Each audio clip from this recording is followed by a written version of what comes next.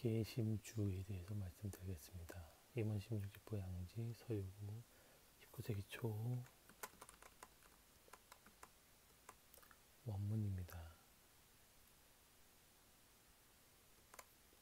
번역문입니다. 또 다른 방법 냉기, 협심증, 가슴 통증, 기가 막혀 답답한 것을 치료한다. 청주 여섯 홉을 뜨겁게 데워 게심가루 한 양을 넣고 골고루 섞는다. 자주 복용한다. 하루에 두 번 복용하면 효과가 좋다. 효과가 있다 이렇게 되어 있고요.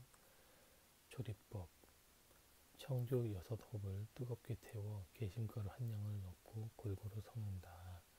이렇게 나와 있습니다.